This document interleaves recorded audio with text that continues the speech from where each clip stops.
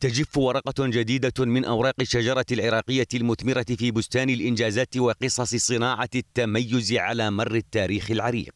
فيرحل وزير العدل الأسبق منذر الشاوي الذي تشعبت إنجازاته وسجل اسمه في قوائم العراقيين البنائين للنهضة في قافلة العلماء والمفكرين.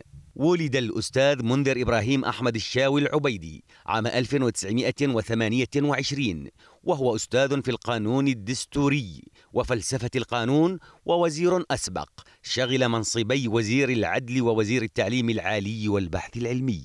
تخرج الشاوي من كلية الحقوق في جامعة بغداد عام 1951 حاصلا على شهادة البكالوريوس في القانون.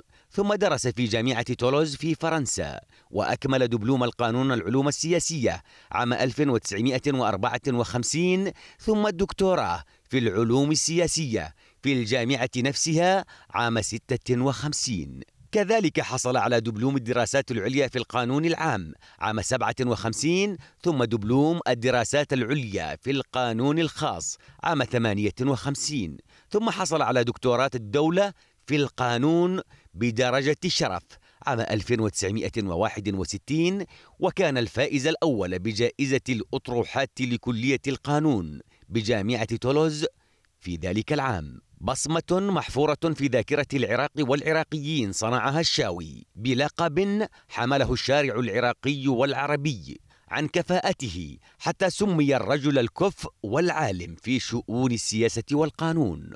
رحل الشاوي لكن بقيت السيرة عراقية مسطرة بالمجد والتاريخ.